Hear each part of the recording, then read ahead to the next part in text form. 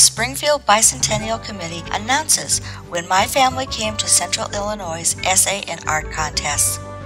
Available for grades 2nd through 6th, students will be given the opportunity to share their family history. This essay competition was created to honor the diversity as well as celebrate the commonality of the families of Sangamon County. Students may choose one contest or decide to enter them both. They will be independently judged. Essay contests. The students should write an essay which describes when and how their family arrived in Sangamon County.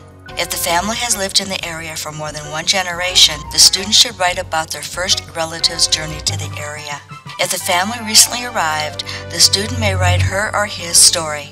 The student may also discuss why the family moved to Central Illinois, how the area has or hasn't changed, or any other interesting facts connected to the move. Grades 2nd through 4th.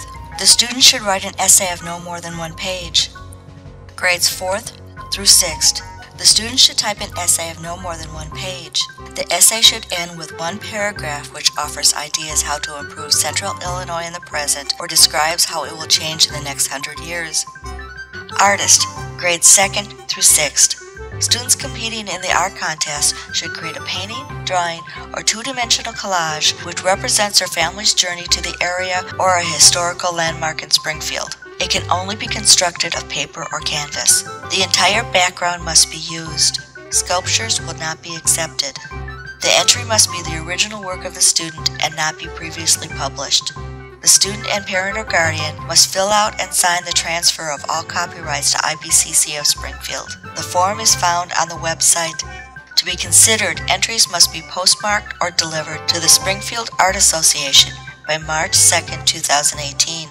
All entries must include the following information written on the back of each submission to be considered for judging. Full name of the student, current grade, school, school address, parent or guardian's contact information. Any entry not containing all the necessary information will be disqualified.